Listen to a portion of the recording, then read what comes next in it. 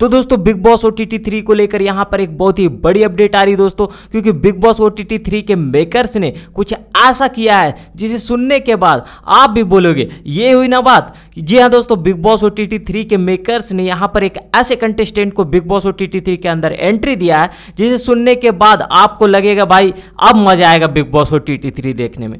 जी हाँ दोस्तों, उस कंटेस्टेंट का नाम है अरमान मलिक। जी हाँ दोस्तों, अरमान मलिक जो है, वो अपनी दो वाइफ्स के साथ बिग बॉस ओ के अंदर एंट्री ले रहे हैं। और ये कहीं ना कहीं एक बहुत ही बड़ी बात है दोस्तों, क्योंकि अरमान मलिक के सब्सक्राइबर्स और फॉलोअर्स की बात करें तो वो बहुत ही बड़ी संख्या में उनके टोटल बात करें सारे फॉलोअर्स मिला के तो वो 25 मिलियन से भी ज़्यादा हो जाते हैं, क्योंकि उनके बहुत सारे अकाउंट्स हैं इंस्टाग्राम पर बहुत सारे अकाउंट्स हैं यूट्यूब पर, और उनके उनको देखने वाले भी बहुत ही ज़्यादा है। रोज़ लोग उनके वीडियोज़ को देखते हैं, वो डेली ब्लॉग्स अपलोड किया करते हैं यूट्यूब के ऊपर, और इंस्टाग्राम पर भी वो रोज़ ढेर सारी वीडियोज़ अपलोड किया करते हैं। उनकी दो वाइफ्स है दोस्तों, और उन, यानी कि उनकी दो शादियाँ हुई है, और उनकी दोनों वाइफ्स जो है, वो उनके साथ में ही रहती है। और सच बात तो ये है कि अरमान मलिक का जो घर है, वो अपने आप में ही एक बिग बॉस है। क्योंकि अरमान मलिक के घर में उनकी दो वाइफ से उनकी पहली बीवी नाराज़ होती है, अरमान मलिक उसको मनाने जाते हैं, तब तक दूसरी नाराज़ हो जाती है, कभी बच्चे नाराज़ हो जाते हैं।